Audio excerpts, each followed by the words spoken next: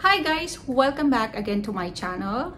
Kagagaling ko lang last week sa Boracay. So, for today's video, ang gusto kong i-share sa inyo ay kung paano mag-travel ngayon sa Boracay at kung saan ka pwedeng mag-register ng tourist arrival station at guys, kung gusto nyong malaman kung magkano pa yung mga fees na kailangan nyong bayaran from airport to port to Boracay Port to your hotel, kung gusto nyong malaman kung magkano pa yung mga magastos or kung gusto nyong magkaroon ng idea about sa mga fees na kailangan nyong bayaran bago kayo makarating sa Boracay Beach, then be sure to finish this video.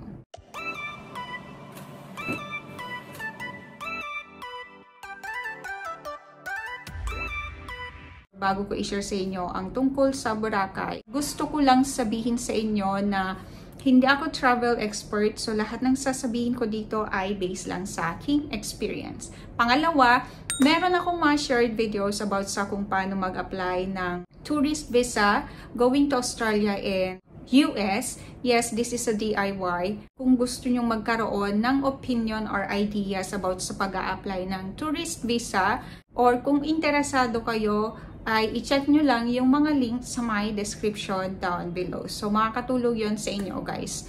Para to sa mga napadaan dito ngayon na may mga plan na mag-apply ng tourist visa. So, now naman about sa Boracay kung paano mag-travel ngayon, kung ano yung mga requirements. Una is, syempre, aside sa plane ticket, is kailangan mo din ng ID. Yes, ang ID is gagamitin yan or chinecheck yan upon check-in. Anong ID? Depende sa inyo kung ano yung mga valid ID na meron kayo. Basta valid ID.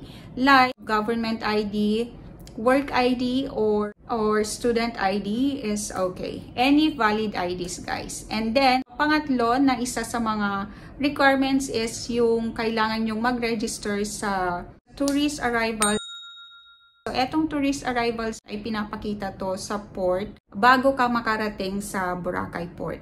Yes, chinecheck to guys. So, kailangan nyo lang mag-register sa link na to or ilalagay ko na lang yung link mismo dun sa my description down below para mas mapadali sa inyo guys, okay? Yeah, yun yung mga requirements na kailangan nyo i-prepare, okay? About naman sa fees, kung magkano yung mga additional fees from airport to Boracay Island mismo or to your hotel.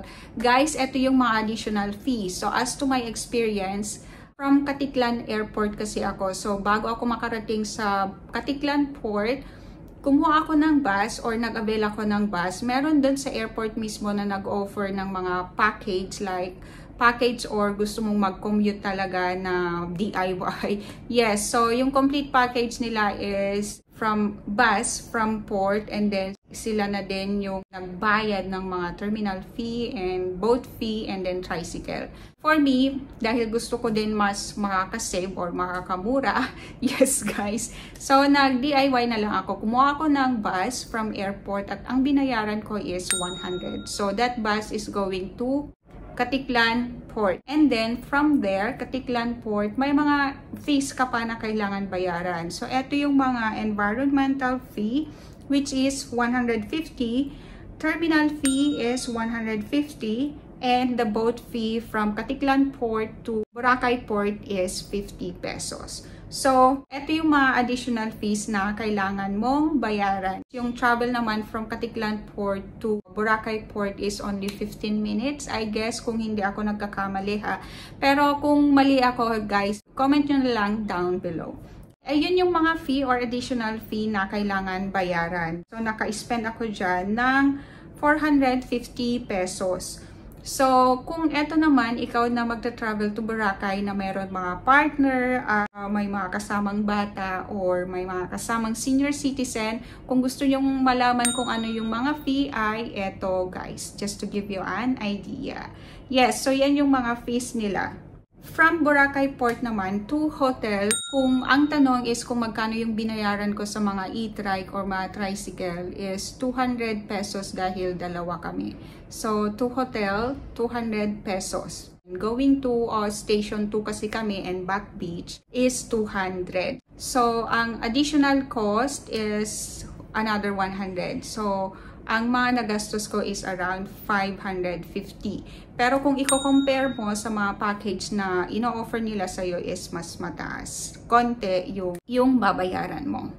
Yun lang guys ang tungkol sa video na to today. Sana may natutunan kayo at kung may gustuhan ang video, please click like. Kung may mga question kayo, just comment down below and yes, sasagutin natin yan guys. Ayun lang guys. See you again sa susunod na video. Bye!